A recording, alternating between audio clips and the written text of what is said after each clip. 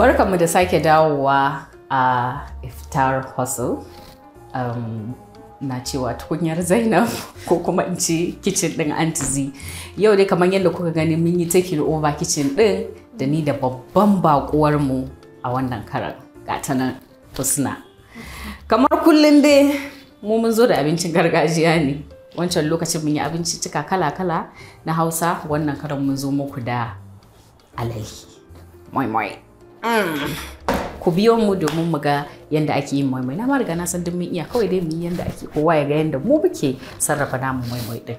Ga wankakken waken mu muna da shi ga kayan miya ga other ingredients wanda kawai you know? Extra ne? Da su babu su zan ci maimai yawa to bismillah.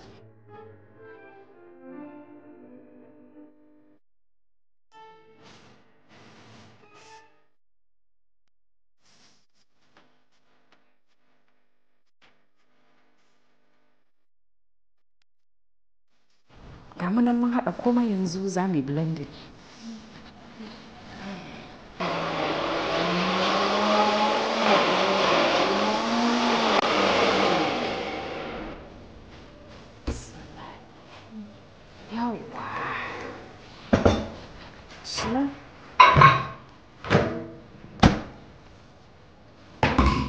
ko wake. Yanzu.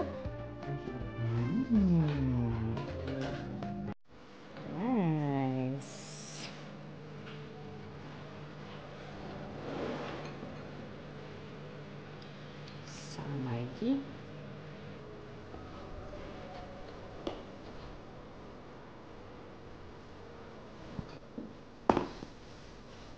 Sai hanta. Sakan juye shi duka. A juye? Juye.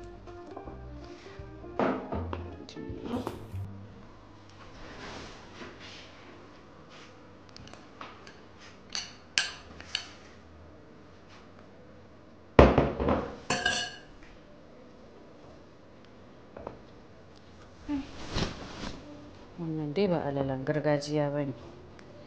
Saboda alalan gargajiya in aka banni ma ni ba zan saka man gyaɗa ba.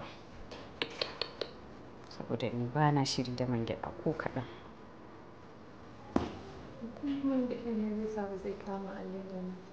Ai duk abin da ban gan shi ja ba ni ba na son shi.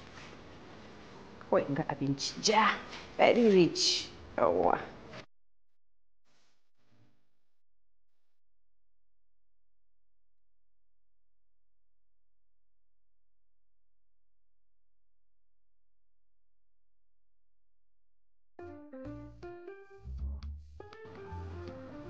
yanzu sai mu saka a cikin ruwan zafi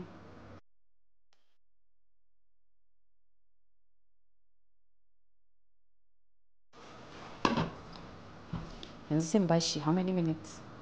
kamar wani 20 minutes haka 20 minutes sai mu dawo bye